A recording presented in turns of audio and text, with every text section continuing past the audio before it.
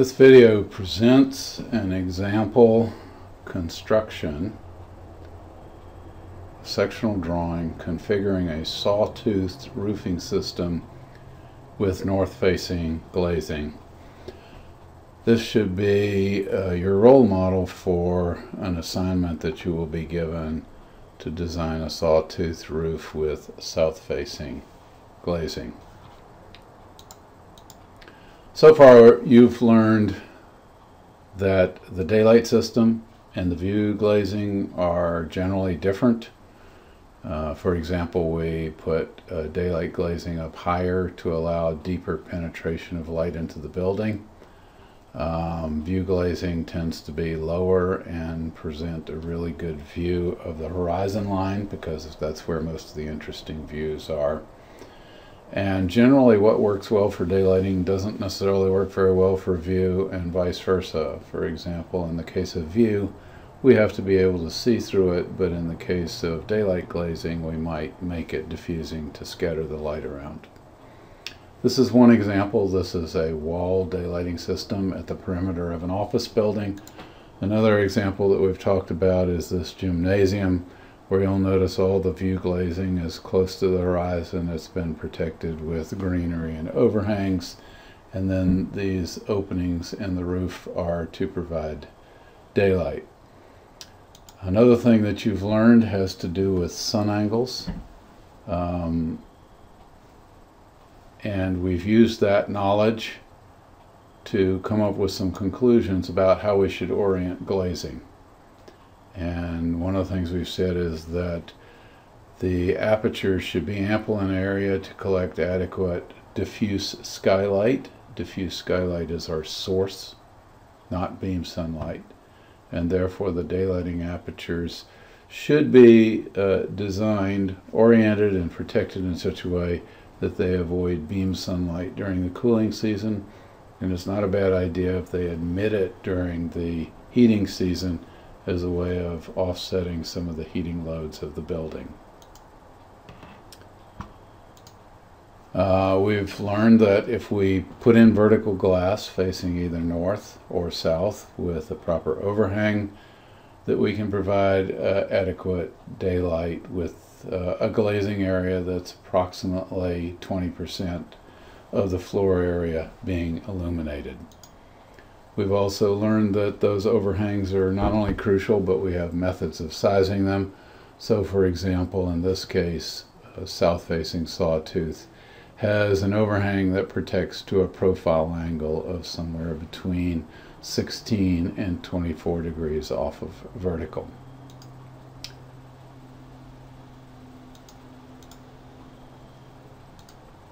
We've also talked about zones of illumination, and I want to make a few more comments on that right at the moment.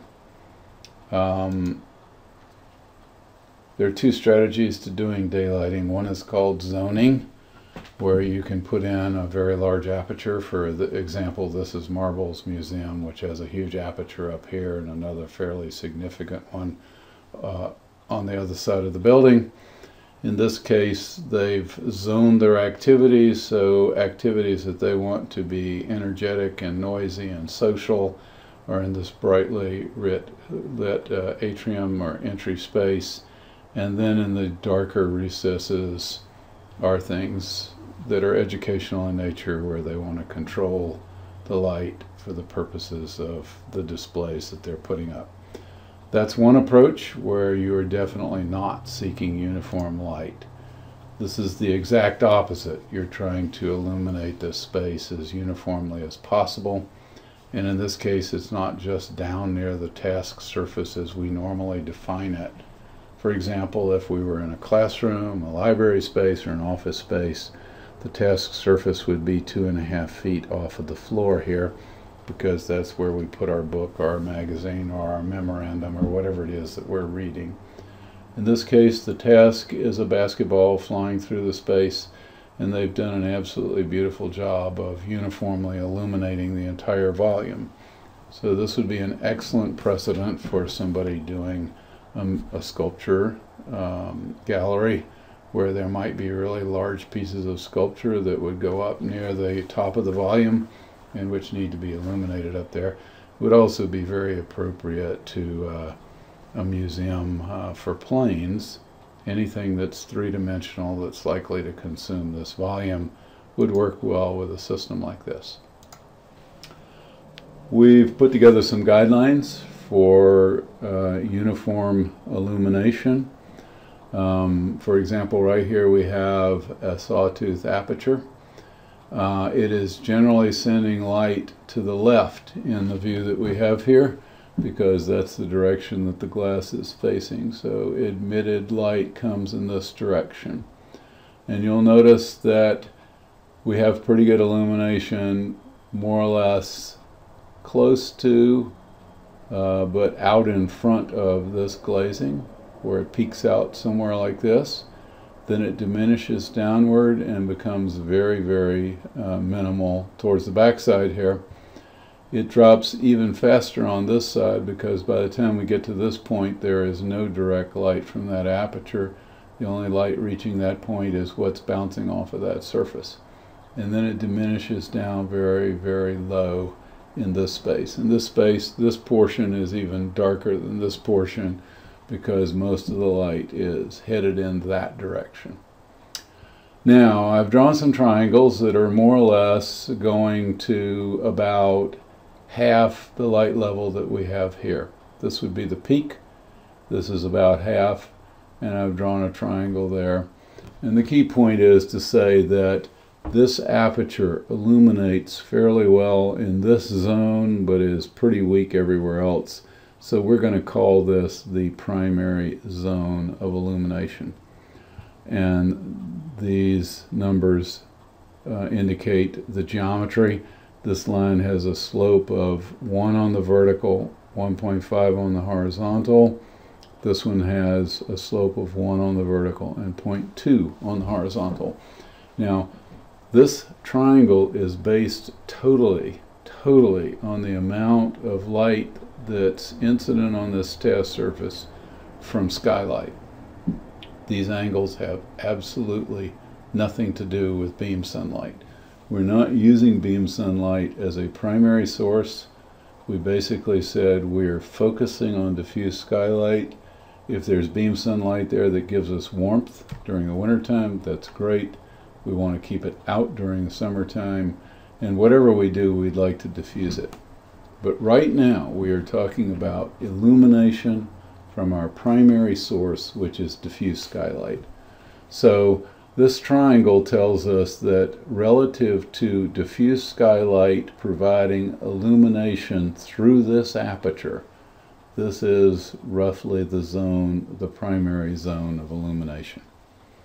So we show a series of diagrams here. Here we have a couple of widely spaced apertures and even though there's no space as dark here as what we have up here, this is still very non-uniform. It's very bright right there, very bright right there, and the light level right here is very weak. So the illuminance level here is much greater than the illuminance level there. If we put in three of them, it becomes much better. The really low point in our illuminance is here and there. And we're about at the point where the peak illuminance and the minimal illuminance are about a ratio of 2 to 1. If we put four of them in and space them in this manner, we're starting to get very uniform light where the minimums and the maximums are not very different from each other. And by the way, this occurs when those triangles that we constructed are just touching each other. In other words, if we have a primary zone of illumination from this aperture, we want to slide another aperture up close to it so that the primary zone of illuminance for this aperture touches that one, which touches that one, which touches that one. So this is a geometric construct technique that will allow you to get fairly uniform light. Now, you can try to violate this by putting your apertures further apart. If you do that, you're on your own in the sense of you, the guidelines no longer work for you, and you're going to have to do some model testing or computer simulations of your design. Okay, so this shows taking that construction technique, which by the way is always generated from the top edge of the long linear daylighting aperture and those lines get constructed down in this manner and we've showed a building that's been designed so that basically the the um, primary zones of illumination completely cover the work plane so we would expect out of this particular design to get very uniform and effective illuminance on this task surface. Now if we wanted to display things up higher, we'd have to move the task plane up higher and then we'd have to have closer apertures in order to get the primary zones of illumination touching each other. And so that's happened here. If I showed the primary zone here, these triangles would overlap each other substantially and the crossover point would be up somewhere high. In other words, we could take our task plane as being way up here and we'd still be getting very uniform light. Okay, this is another example of that.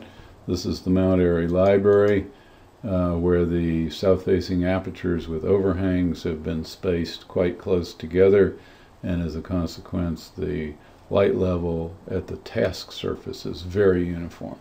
So this gives you an idea of what that space looks like and the illuminance varies only slightly across this task space. Okay, so that's what we know up till now. And now we want to construct a sawtooth roof to meet some sort of standards for structure and lighting, uniformity, and so forth. So the example we're going to pick is configuring a sawtooth roofing system with north-facing glazing. Um, and we're doing it for a manufacturing facility that's to be built near the coast of eastern North Carolina because the climate is warm and the internal heat generation from the manufacturing processes will be fairly high. We want to minimize the heat gain during through the day, daylight glazing. Uh, therefore, the decision is made to illuminate the building using north-facing glass and a sawtooth roof. Our alternative would have been south-facing with an overhang, but during the swing months that would have overheated because the climate is pretty warm and the internal heat gains are high. And then you add some solar to that and that creates a problem. The north-facing sawtooth configuration is also very appealing because it provides a sloped south-facing opaque roof surface on which we can mount photovoltaics for generating electricity, which is always helpful when you have a manufacturing facility that's going to have a constant demand for electricity. The activities in the occurring in the building will require free movement up to a height of 22 feet, and they will require a column spacing of 40 feet. And this is, of course, approximate because if the columns get too fat, they might need to be further apart. But based on discussions with the client, it's uh, assumed that tubular round columns will allow us to keep a reasonably small cross-sectional dimension on the columns and while we won't have 40 feet of absolute clear when we put the columns 40 feet on center we should expect to have at least 39 feet clear which the client thinks is adequate. The client wants the minimal number of roof apertures that will provide satisfactory uniformity of the illumination across the space. That is, the apertures should be spaced as far as apart as possible, consistent with the requirement that the aperture spacing be close enough to provide uniform illumination on the work plane. For the purposes of this facility, the height of the work plane is chosen to be 3 feet because there are people mainly working at tabletops and they stand to do their work very much as we might do in architecture when we stand to do drawings at a drawing board. So we're going to design and draw the section through the roof at the interior of the building indicating the height of the glazing above the floor, the daylight glazing the vertical dimension of the glazing, the horizontal dimension of a typical sawtooth module, and any structural elements. Such as columns, walls, transfer beams, spanning elements, supporting the roof decking, curving below the glazing, etc. We should assume that the north wall is outfitted with view windows from 3 feet up to 8 feet high. The clear, there is clerestory glass in the north wall, which the top of which is about 20 feet, 1 feet above the floor. We're going to assume the roof over the north bay is generally flat with a very shallow slope of about one quarter inch of rise per foot of run to get positive flow of the water off the roof at the north wall of the building. In other words, we're going to sawtooth all the bays except the north bay, which we're going to try to illuminate through the wall. And this is not an uncommon thing to do. Um, First of all, the sawtooth at the north wall is going to loom really huge, and some people don't find that appealing, so there's a desire to bring the north wall down a little closer to human scale. But also, the presumption is that the north wall uh, is an opportunity to put glass in, and if the glass works, um, then that's what we should use.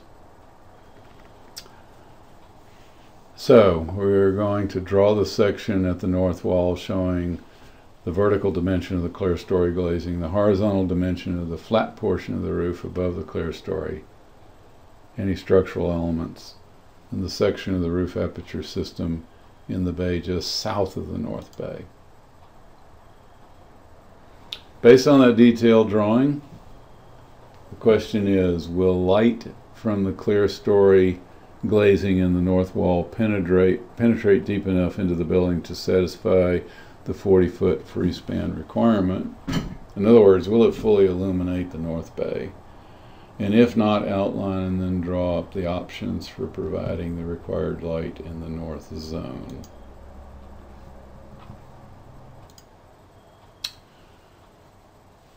Okay, so this is a kind of a preliminary drawing.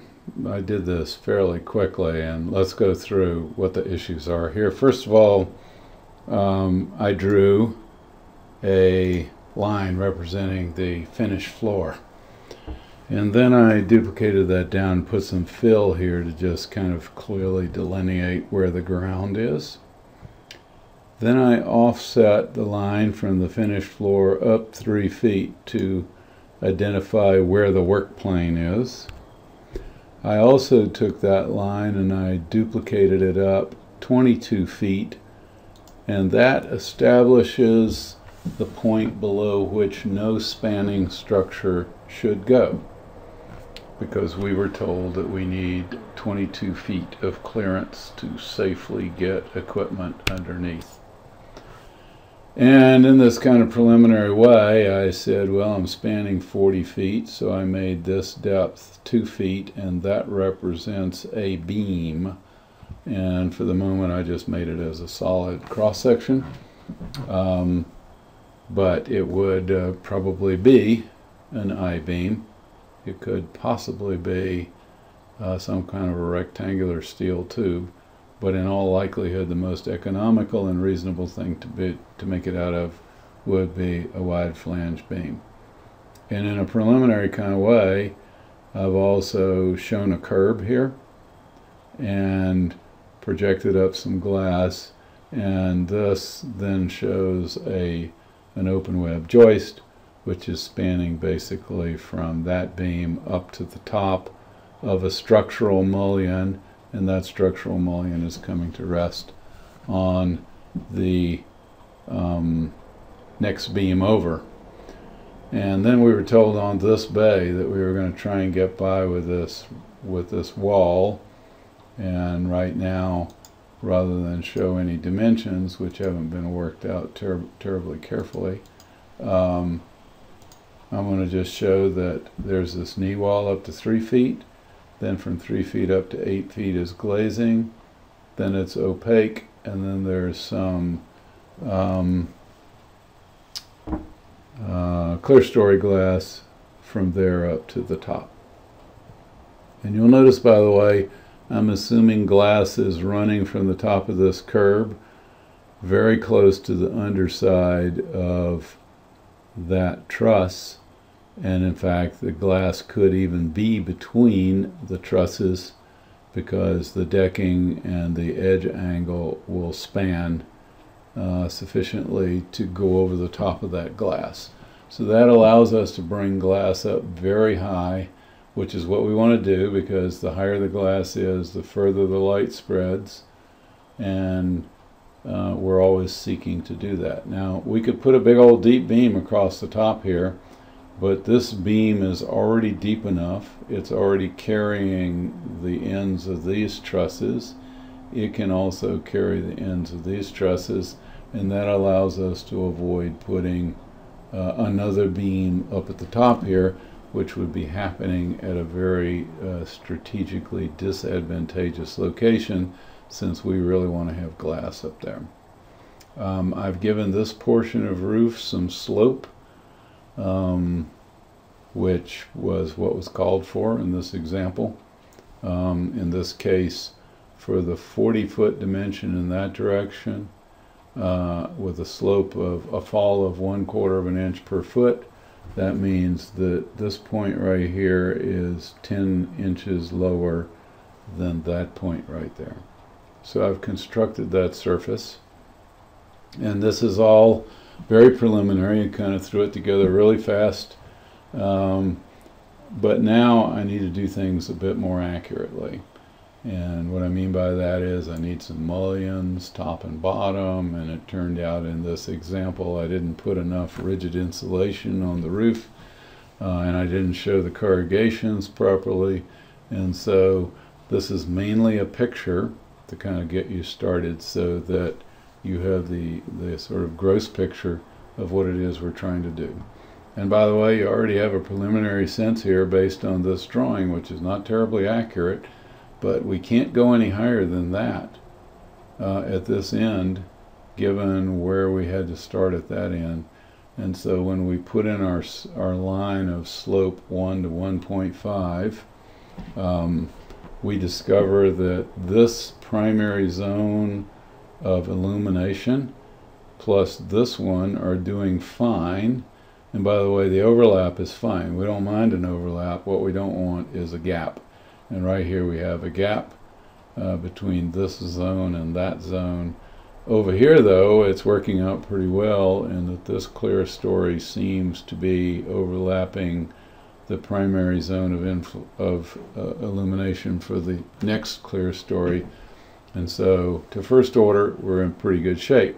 So what we're going to do is we're going to try and construct this whole thing a little more accurately and make sure that we got it right. So, um, in AutoCAD, um, I've drawn a wide flange beam, 24 inches deep, which is two feet, which is 40 feet over 20, which we've said is, as, an, as a starting point, a fairly reasonable depth of beam to pick. I've made it 12 inches wide um, in order to comfortably accommodate a 5 inch end bearing assembly on both sides. So right now what I'm drawing is a kind of conventional uh, detail where a bunch of uh, truss joists are coming to land on um, a solid web girder. And this shows the end bearing assembly for each of these trusses. I've also shown decking here, which is inch and a half deep decking. And I've chosen that on the presumption that we can put these bar joists every um, five or six feet um, along the girder and the inch and a half decking will easily span that distance. Now a really key thing here is I've drawn insulation, rigid insulation. The current code for commercial roofs is R30. So I have put the equivalent of R30 in rigid uh, polystyrene insulation, um, styrofoam, and that would be seven inches deep. Now I've taken that basic concept and redrawn it so I still have the same beam and Now, instead of an end-bearing assembly on one side, I've put a post. And for the moment, uh, I don't know exactly what these are going to end up being, but I've got a 5-inch deep tubular post, which is structural in nature, which is going up to the top of the structure to carry um, the uh, the truss the trusses that exist on this side. in fact, there'll be one of these posts for each truss so that we don't need a beam across the top and we can have the maximum uh, daylight penetration. And I drew this 5 inch uh, tubular column, if you will, and then I've shown something on each side of it which might represent uh, sheathing on the outside and sheetrock on the inside. And there probably would be some studs internal to the structure, and those studs might dictate what the actual dimension is here. But we're not going to worry about that too much right at the moment, although these are all details that you would need to account for in doing a roof like this. On the other side of this beam, we have the classic end-bearing assembly, except now we're going to have this uh, sloped element. And for the moment I have set it roughly where I think it needs to be in terms of its angle. And one of the reasons I wanted to do that is not just to represent it fairly quickly but to get some idea of what this depth is. Because in going from this situation to this situation we've changed that depth a little bit and we'd like to know what that is. Now one of the key things to note here is that the dimension does not change between this bearing surface at the bottom of this inverted double angle here. So this is the end bearing assembly. Uh, that dimension does not change um, between that point and this point at the top surface of the top double angle. In other words, we keep that at 5 inches and we rotate the top chord about that point. So the depth of the end bearing assembly is less there, is more there, but is still 5 feet here. Now, I haven't drawn it, but we really need to make this end bearing angle deeper in order to fully engage this joint. But for the moment, I've just rotated it. And if I want to, I can imagine, uh, in fact, I'll do it the following way. I'll take this point and go up to there, and that point and go up somewhere around there. And I'm showing that end bearing assembly now fully engaged. Now, you need to understand those dimensions because they're going to affect things like this overall dimension and you have got to get some kind of structure here that goes beyond this point and continues up in order to uh, create a proper curb and a place for water here. So that construction kind of gives you an idea of uh, what's involved uh, in taking a fairly conventional truss like this and using it for this sloped portion of the roof. Okay, so now armed with that information, I'm going to go get this uh, stuff that I drew here, which is not very accurate, and I'm going to get rid of it. And by the way, this will be classic of how you do things in life is you kind of draw it, you get a sense of what you're dealing with, then you draw it again, and you keep getting better and better, which is, by the way, one of the things that's wonderful about CAD programs is that you can keep massaging things until you get them the way you want them. Whereas in the old days, we used to have to try and visualize extremely carefully what we were doing uh, before we started drawing. Otherwise, we would just sand a hole with our eraser through the paper we worked on. So you can draw something and move it around and do all kinds of things with it, which is one of the beauties to working in uh, a CAD program. Okay, so I'm going to take all that assembly that I created there, and by the way, I still don't know if this slope is the right slope. But I kind of have a, an idea that it's right in the right ballpark. And in fact, it's this slope, and then I added a little more because I knew there were some things I forgot along the way when I did the original drawing. So now I'm going to duplicate this, and I'm going to go from right there down to right here and put that in place.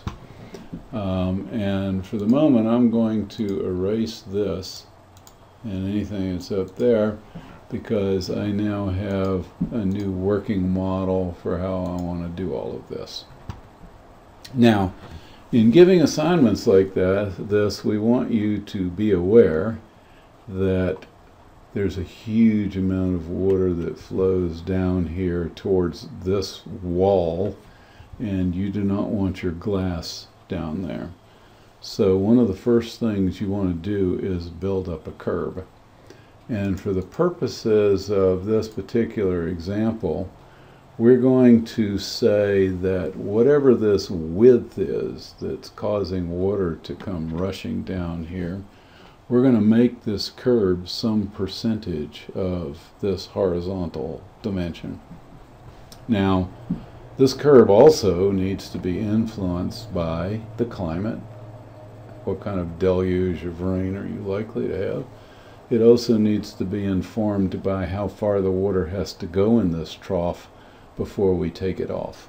So we're not giving you any really super scientific rule here because there are a lot of variables that have to be accounted for, but we are telling you the following, that we would like the height of this wall above the insulation to be 0.8, in other words, 8% of whatever this horizontal dimension is. So if in fact the horizontal dimension is 40 feet and we want to be 0.08 of that, we're at 3.2 feet, which is uh, 38 inches. So I'm going to come down here and I'm going to draw a line that starts right there and I'm going to choose my offset function and I'm going to put 38 inches and offset that upwards. So now once I've done that, that tells me that my curb better go that high. So that's, that's where it is. And by the way, it's not a bad idea. Uh, if you have any doubts, to make that a little bit deeper. But I'm putting this here to make sure we got it right. So, 40 feet times 0.08 is 3.2 feet. And that converts, I didn't get that right. You're not paying attention. It was close though. All right, so let's go do that in Excel just to illustrate the point. So we got 0.08. We've got 40 feet. And then I'm going to do this times 12 inches. So I'm going to say equals this times that times that. And I actually get 38.4 inches. And normally I don't encourage you to be really sloppy and slovenly, but just to make sure, you know what I'm going to do? I'm going to delete that. And I'm going to delete that. And, you know, I don't know what this dimension is going to end up exactly due to this tilting process. So I'm going to be a little conservative and I'm going to make that 40 inches instead of 38.4 I'm going to offset it 40 and that way I won't be quite so nervous about water piling up uh, near my window. So I'm going to take this and I'm going to fill up to there and that is the height of my curb. And by the way, that's the opaque portion that gets properly waterproofed around this edge. The um, the tube that's inside there needs to continue on up. So if I were uh, doing this appropriately, I just would indicate all that continuing up. Uh, and to avoid any kind of confusion, you might even want to uh, draw a section through there and eliminate that just so we understand that that vertical element is continuous. Now I'm going to turn right around and contradict myself because I'm going to now say we're going to draw a sill in there. And typically a sill has got to be a few inches deep and I think we're going to make it uh, 2.5 and just say that uh, we've got some kind of mullion, horizontal mullion or whatever there, and the glass goes down into that. And there's a whole science to how that thing ought to be designed, but for right now we're going to just say we think we can do it with two and a half inches. So now we're finally up to where the bottom of the glass starts.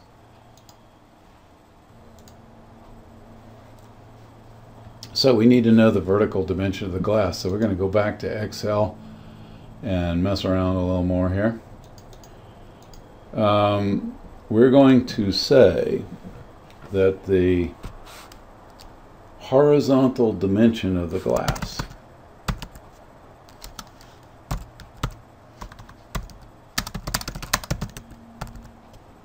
is the following. It is equal to 0.9 times 40.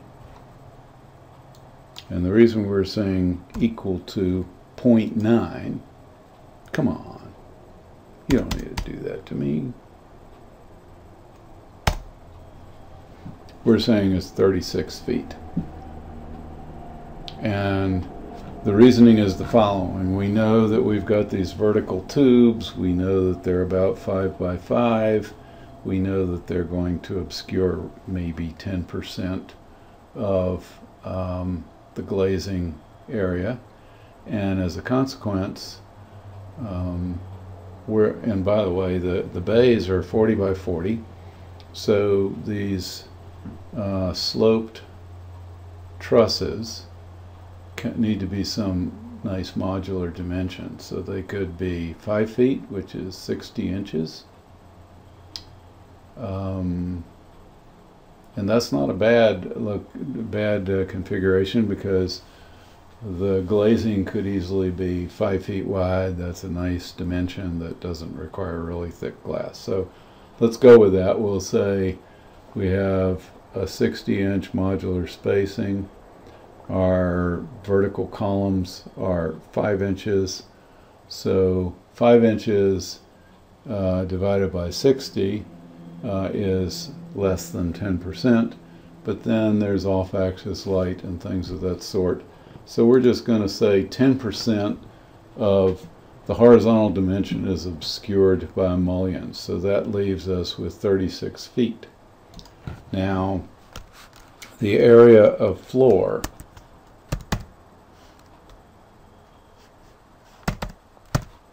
is equal to 40 times 40. And I keep hitting the wrong keys here. So we have 1,600 square feet. The area of the glass is going to equal 0.2 times the area of the floor because that's our 20% ratio. And then the dimension vertical of the glass is now going to equal that area divided by the horizontal dimension. Well,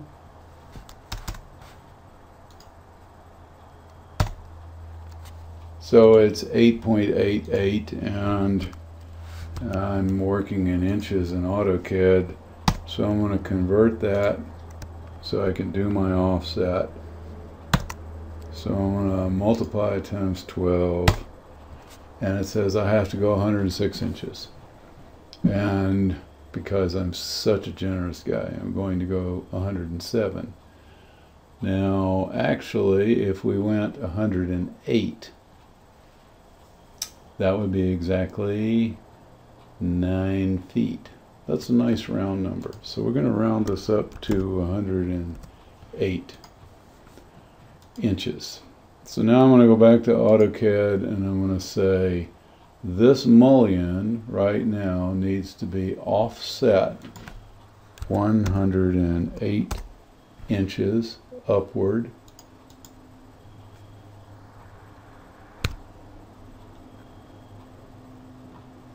So we're beginning to see that the original construction of this thing wasn't terribly accurate.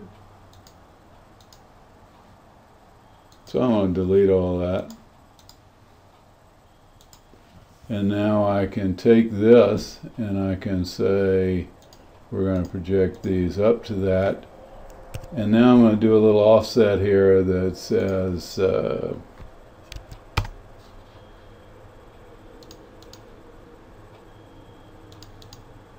There's our glass. And if you want it centered, you can center it, but you've got some kind of flashing issues that need to be attended to down here. And by the way, the glass disappears down here into this sill. And um, for the moment. I'm going to just draw this like this and that like that.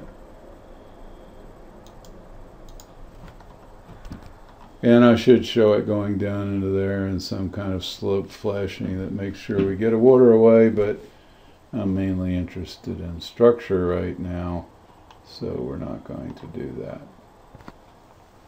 Okay. So this is the vertical extent of the glass. And now up above, we would also say that we need at least 2.5 inches of mullion and maybe more, but for the moment, I think we can get it done with that. And so I'm going to say that glass mullion, in fact, that's not the way we did it down below. Um,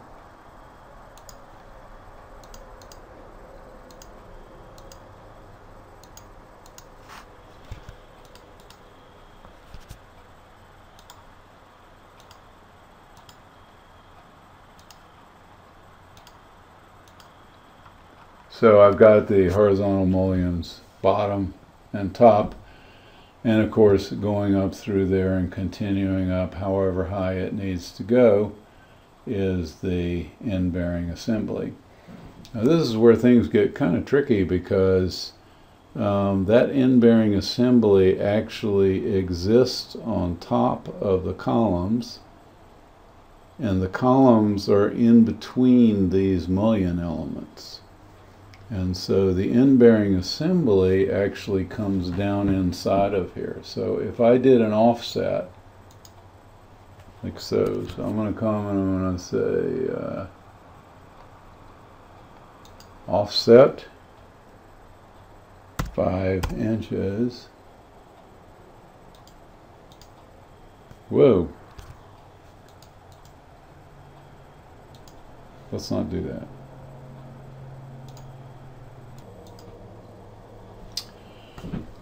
Okay, so I've regrouped for a moment here and erased some other parts of the structure so that I can now take this part right here and duplicate it.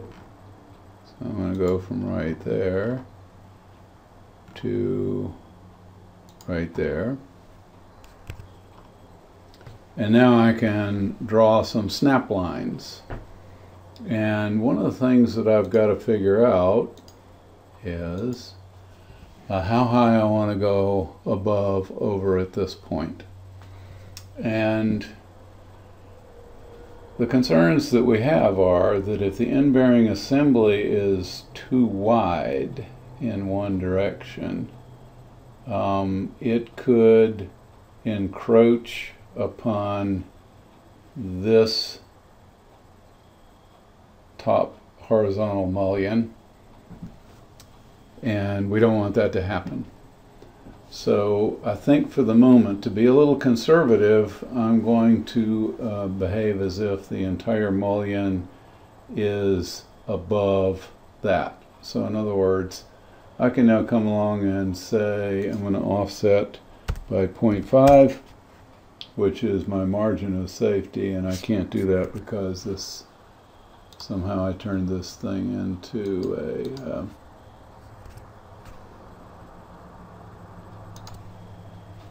a polyline, but I'm going to offset 0.5 inches, which is to give me a little room for error. And that becomes where the end bearing assembly is going to come off. And then I'm going to offset that by 5 inches so that I do this.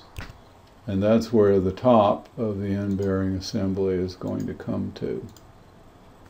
So um, and while I'm doing it, I'll just say I'm going to offset 2.5 here and here. So that's the width of the end bearing assembly, which is sitting right on top of the column. And this portion right here could actually be um, a bearing plate uh, on the top of the column. So I'm going to take this right here and I'm going to project this over. And then I'm going to take this right here draw it right there and eliminate this. And now this will go over there. And this is that top plate. And for the moment I'm going to just erase something here which is that little stub right there Okay, so what I want to do now, having done that, and by the way, to give you a reason why I wouldn't have wanted to do that, if I can get all this end-bearing assembly down between this horizontal mullion, I'm reducing the overall height of my building. By drawing it up here, I'm now going to have to fill in this gap uh, with some kind of insulation and some kind of structure. I would have preferred not to have a higher building and not to have the cost associated with filling that in. But I am deeply concerned that a 40 foot truss is likely to have angles that are too wide to fit down between these mullions. So we're going to draw them up above there. And here's what we're going to do now. We're going to take a line and we're going to start right here at the top of that.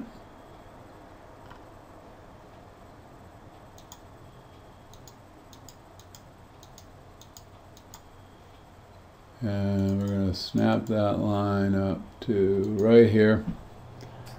And that becomes the top of the top chord for this truss. So you'll notice I seem to have drawn this truss a little bit steep. Uh, but we'll be able to rotate that down in a second. So we now have vertical glass. It's as tall as we need it. We have mullions top and bottom. We have an end-bearing assembly up there.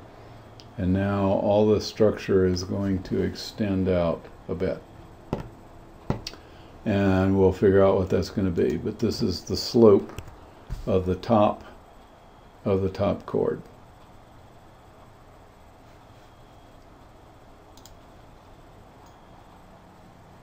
So while I have it on my mind, I'm going to take those two lines and I'm going to move them up to there. So they're supposed to start at the top of the glass framing, in other words, at the very top of the glazing itself, and project down from there. And then I'm going to take this and I'm going to project these lines downward. So I know where the primary zones of illumination are. And I'm going to eliminate this one because this was left over from some previous diagram that was not very accurately drawn.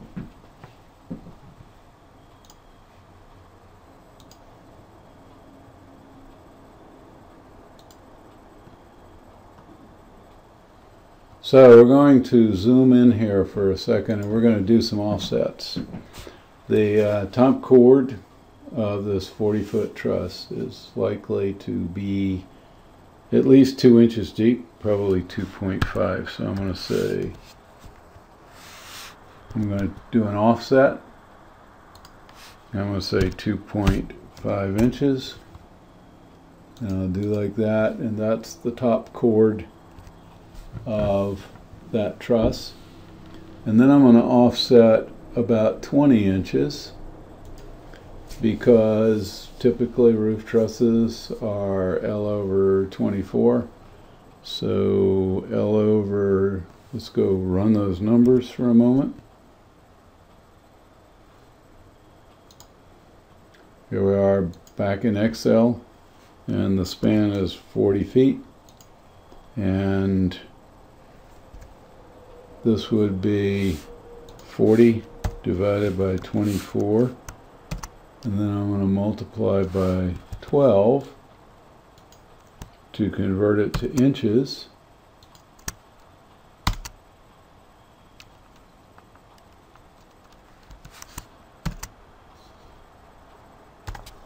And I get 20 inches.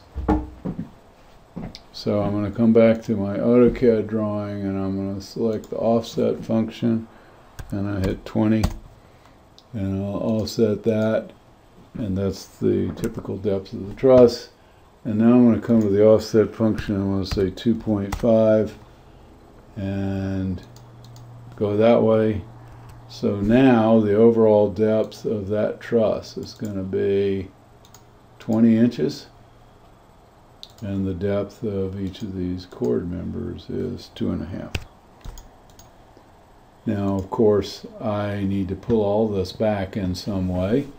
And one of the things I'll do is, you don't know this yet, but um, the overall distance from the top chord to the centroid in this case is going to be about one inch. So I'm going to offset that about an inch. And I'm going to draw that as a center line, like so. And that gives me my working point there and that means my diagonal web has got to come down somewhere like this. And just to make sure that diagonal is going to be like one and a half, so I'm going to do an offset of 0.75 real quick just to see if I'm clearing, and I am clearing uh, this base point for my end bearing assembly. And actually that end bearing assembly would have a little offset like that. So I've got all that geometry working and down here I'm going to just trim this off in some way to clean it up.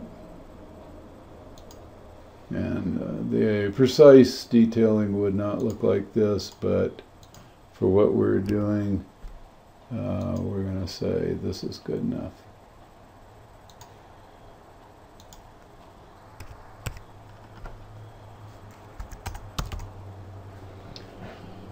So now we can go zoom in on this and we need to uh, rotate this whole structure here. So I'm going to try to do that. And I'm going to go select all of that and then I'm going to deselect the parts that I don't want to uh, to actually rotate. So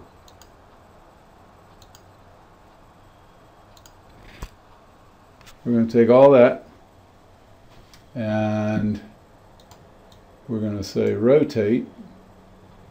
And we're going to rotate by the way about that point right there.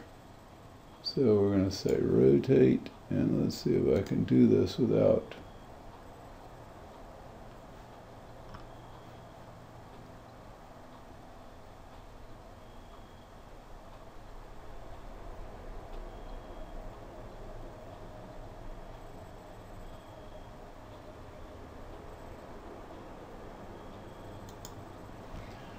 Okay, so there you go. And uh, this part right here, we're going to just pull back a little bit and trim it off just so we understand that this stuff flying around here doesn't just keep going on forever.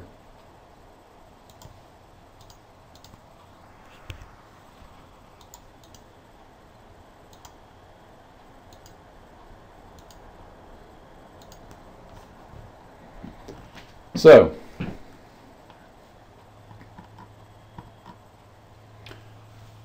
we basically would fill in some web members here and we also want to transport some of this insulation and decking up to the top and create some detail up there that makes sense.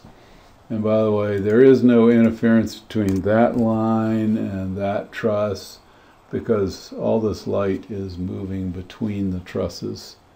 Um, so you would go about doing that and uh, I'm going to eliminate all of this stuff and go transport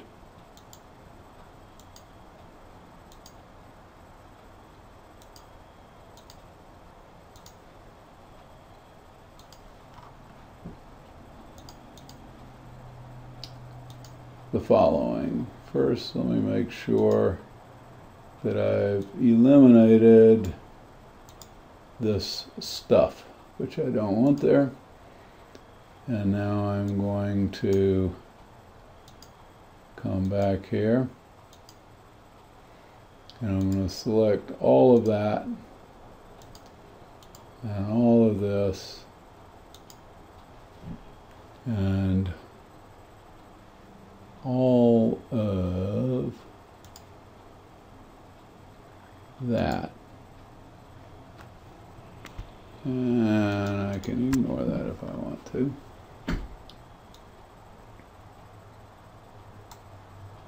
And now I want to take all of that and duplicate between right there and right there.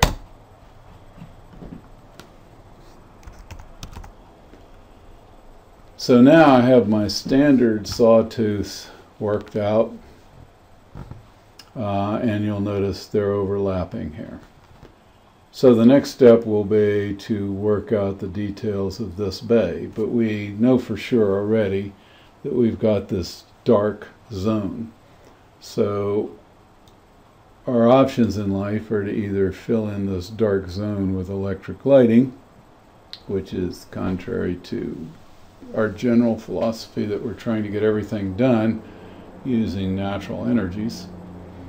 Um, the other option is we can just put another sawtooth up here and then that sawtooth will overlap this one and we'll be fine. We'll just have this very tall um, facade that will have to be braced against wind load and things of that sort.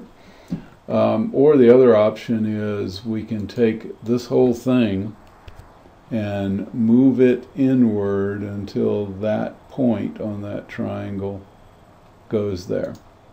In other words, I could imagine moving this until we get right there and then we just say we're going to have a smaller bay here.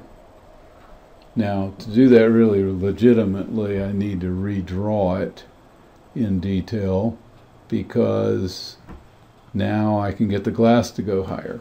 But that's such a fine point that we wouldn't normally even worry about that. We'd know that we're pretty good in terms of the uniformity of light here. I'm going to undo that for a moment um, because this drawing is not even very well done in terms of the details of this truss work. So that gives you a pretty good idea of what's involved in constructing something like this. Now on your project, um, you're going to be given a library in western North Carolina where it's quite a bit cooler and where passive heating is a desirable feature. So you're going to be asked to uh, face your sawtooth south. That means there will be an overhang on your sawtooth.